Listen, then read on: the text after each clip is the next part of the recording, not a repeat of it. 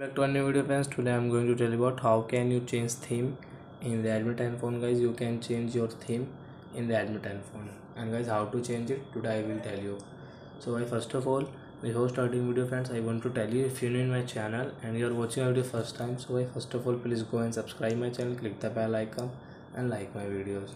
So I now let's start video. First of all friends open your phone setting.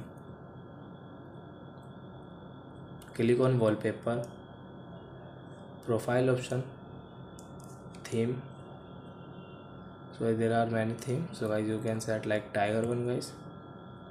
Guys apply. Reboot not now guys. You can reboot. After rebooting it will change. Guys not now then it will change. They both are same guys. So now you can see your theme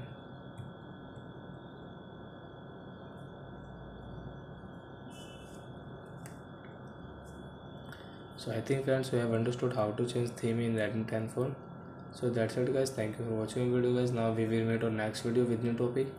Before guys please go and like and subscribe my channel. Bye bye